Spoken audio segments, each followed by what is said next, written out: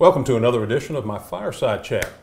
The Delta State University Colloquia Distinguished Speakers Lecture Series continued last week featuring Dr. LouAnn Woodward, who is the Vice Chancellor for Health Affairs at the University of Mississippi Medical Center.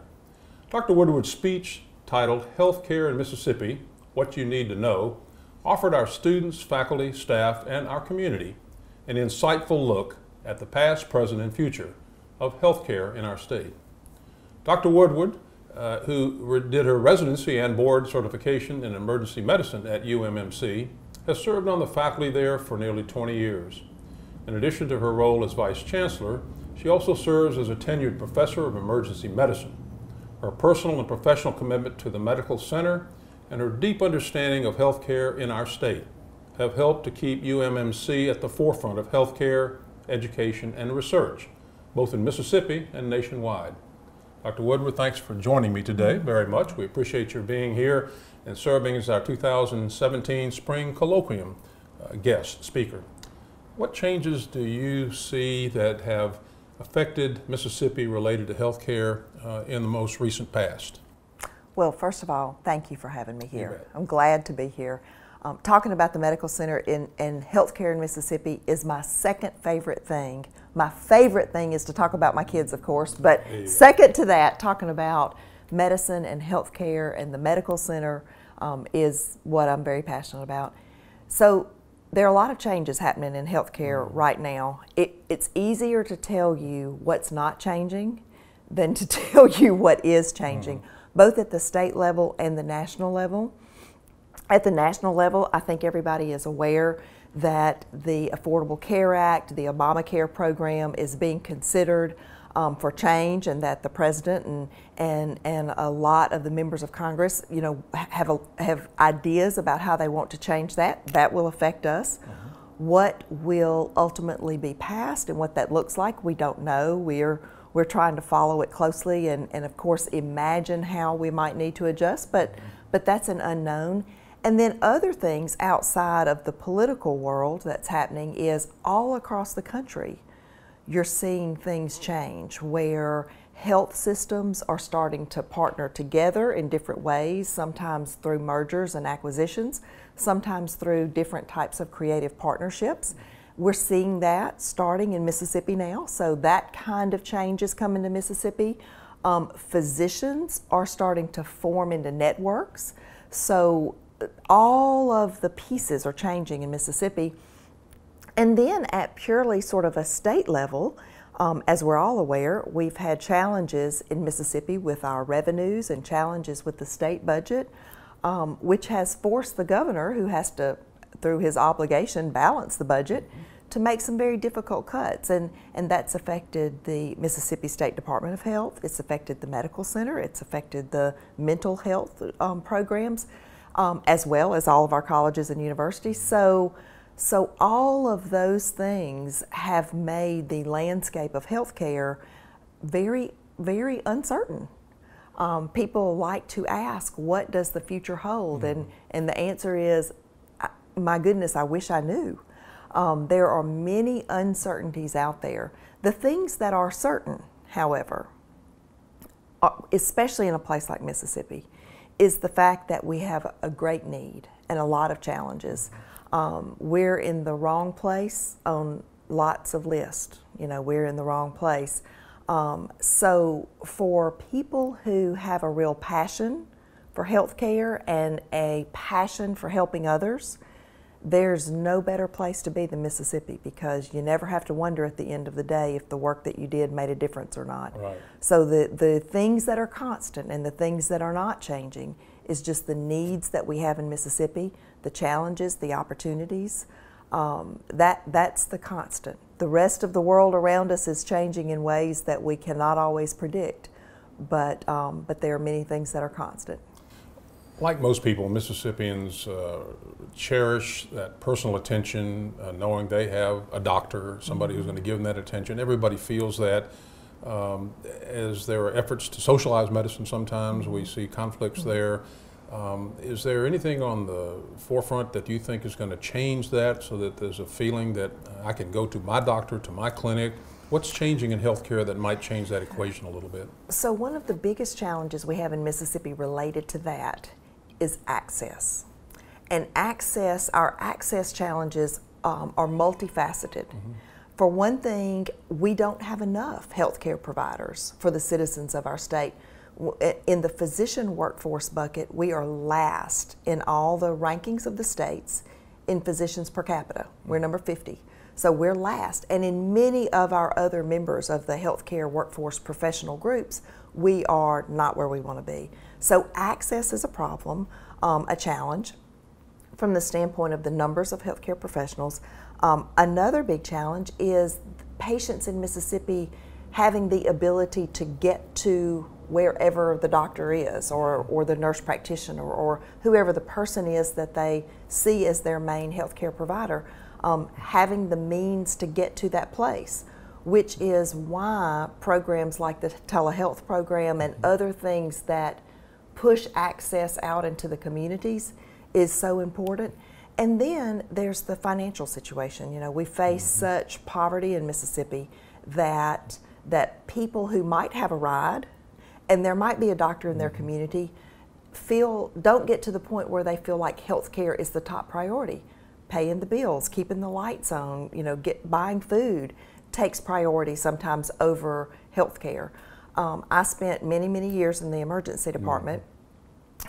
and it is a, a, very special place you see people at times when you, I, I, what i have said many times is you see both the best and the worst in people you, you see people at, at very you know terrible and awful points in their life but then you also have the opportunity to sometimes see them kind of rise to that occasion but but what i saw many many times in the emergency department were people who would present and, and they would be very sick they would have an illness that is manageable in in normal circumstances whether it's diabetes or heart failure you know whatever it might mm-hmm. be hypertension it, it should be a very manageable illness if they have a physician, they have somebody that they see, and they see them on a regular basis and they're compliant with their meds. But in fact, I would see them when they were two years away from that. Mm. And, and would be very, very, very sick, needing a, a critical care admission and, and a very expensive and costly hospital stay for something that, if, like I said, you rewind two years back, mm-hmm and they had been at the place in their life where healthcare and healthcare maintenance and preventive medicine could have been a priority, they wouldn't have gotten to that place. Right. And many times it's the finances that drives those mm-hmm. sorts of decisions. So again, I lump all that under access. Right. That's one of our major challenges, but it, there are many reasons for those challenges. That's right. You run a $1.6 billion operation certainly one of the largest financial enterprises in Mississippi. What new and exciting things are happening at the medical center, both from the teaching side, the practice side, uh, outreach to the communities that you would like to share with us? There are new and exciting things happening all over the place. We, uh, we don't have time to cover everything, but I'll try to touch on some of the things. Um, on the education side, we're, we are growing our class size in almost every, every school that we have and and that is in response to the healthcare workforce, you know, stats in Mississippi and the fact that we need more physicians, dentists, physical therapists, nurses, et cetera. So, so those schools are all growing in response to the need. Um, we have a new school that's coming online, the School of Population Health. Mm-hmm. It's been a long time since we've established a new school, so we are very much excited about that. We've got a new education building opening up this summer. Um, our challenge will now be having the money to operate the building, but we've, we've got a new building opening up this summer. In the research world, we've also got a translational research building opening this summer. And what we have done over the last, I would say, eight years or so, starting before my time of leadership, certainly, but is really focus our research efforts on the diseases that are most impactful to the citizens in our state. Mm-hmm um, on obesity, hypertension, heart disease, diabetes, um, cancer, those diseases that are most damaging to our own citizens. So now, if you are the chair of biochemistry, for example, you know that the next faculty member hire should be somebody who's working in one of those areas of focus. So we get synergy, more bang for our buck, trying to um, be as aggressive as we can for those diseases, again, that are most damaging to the citizens of our state. And then in the clinical world, we, we have almost a schizophrenic mission in the clinical world. So um, maybe I only say that because I come from a healthcare background, but, but, but we have a range of clinical programs that are important for the training of our students and our residents. And then, and some of those are um, programs that are primary care, just kind of the basic care of patients. Then we also, as the state's only academic medical center, feel a great responsibility to develop programs in those areas where we are the only ones. Mm-hmm. So our many of our pediatric specialties and our pediatric surgeons, the, the category that they fall in, whether it's our pediatric heart surgeon or our pediatric um, orthopedic oncologist or whatever it is, it's the only one in the state. Right. And on the adult side, you know, we have got the only liver transplant program, et cetera, programs like that where we feel a statewide obligation. Um, because we know if we don't have that program and offer that service, that citizens of Mississippi won't have an option in the state. They will have to leave the state. Um, some of our citizens do leave Mississippi for care, and that will always happen, especially on the extreme north and south ends. It just makes sense if you live in Southaven to go to Memphis. That's sure. just, you know, it makes sense. But, but I feel like that shouldn't be the only option. There should be an in state option. So that really drives a lot of our thinking in the clinical programs. Right. One of the, um, if I could just elaborate yeah. one more minute on that, one of the um, things that I shared a few weeks ago with another group was the fact that, speaking of our liver transplant program, um, it, three years ago, the, the, the lead physician in that program, his name is Dr. Chris Anderson, every time there was a transplant, in our in our whole transplant program, he'd send me a note. He'd let me know, you know, just wanted you to know we, we did this. We did a liver transplant. We did a pancreas. We did a we did a kidney. Whatever it was, he it was big enough news that he mm-hmm. would send me a special note and we'd talk about it and be all excited. And about a month ago, I was meeting with him on a Monday, and and we were meeting about a whole list of other things. And he said, "Oh, by the way, since last Wednesday, I did eight transplants." Good gracious. So in just that short amount of time, yeah. we went from the point of each and every one kind of being big news right. to the point now where it's, oh, by the way, in the last week, you know, well, not even a week, in the last five days, I did eight transplants. That's amazing. I know. Now, in That's your own incredible experience, you've been a practitioner, mm-hmm. an academician, a professor, a researcher, and now an administrator. You're running the whole show. from where does this passion come? so I grew up in Mississippi. And I grew up in a very rural part of the state, Carroll County. And and I know here I don't have to explain where Carroll County is, but you know there are some places in where I have to say it's kind of close to Greenwood, Grenada, Winona, and that little triangle. Known for the picture show. But exactly, exactly. So I I have seen the need. There is such need here. Mm-hmm. And and so that is kind of at the heart. It's just I know what the need is and then the excitement about it comes from the people at the medical center. When there are days, and there are occasionally days when when you know you feel like, oh, it's been a long it's been a long few days and you you feel like the challenges just seem so big. It, it, if I make the opportunity to go sit down and have a visit with a group of the students or go to the NICU or to any of our patient care areas, the emergency room, just passing through, stop to talk to some of the faculty, stop to talk to some of the nurses, um, you know, visit with people. The the dedication that is there, it just like it fills you back up and just gets you fired up and ready to go again and fight another day.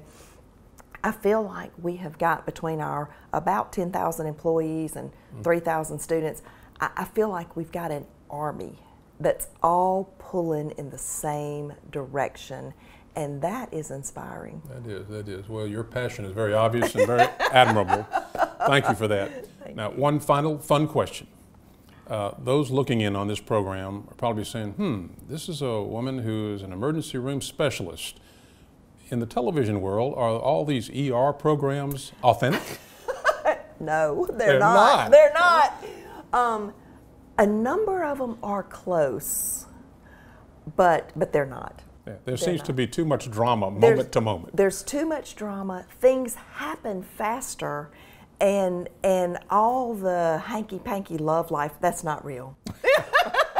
Well, you just blew the cover for all the those who watch it for that reason. There you go. Well, Yeah, yeah, yeah. Well, great. Thank you for all you do, and thank you for coming to Delta State. Thank you. I'm delighted Appreciate to you be being here. with me. Thank Thanks so much.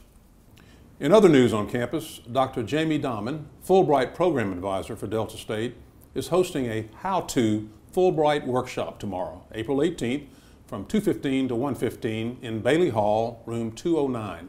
The program will cover topics such as how to secure grant affiliations, how to write a statement of grant purpose, and how to write a personal statement for Fulbright applications. The event is open to all DSU students, faculty, and staff.